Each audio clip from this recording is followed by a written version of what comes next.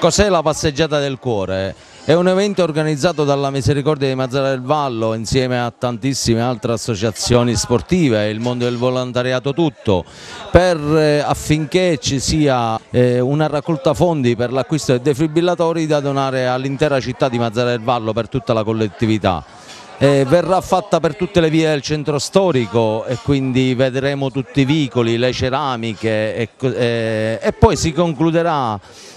a Piazza Regina per, eh, con la prima installazione di un defibrillatore, il primo eh, che, verrà installato domani sera stesso. Piazza Regina ci piace sottolineare che è stato donato dalla gelateria Diadema eh, che ha predisposto anche l'abilitazione di alcuni operatori e verrà fatto con eh, eh, tutte le autorità eh, politiche che l'amministrazione ci renderà il piacere di partecipare.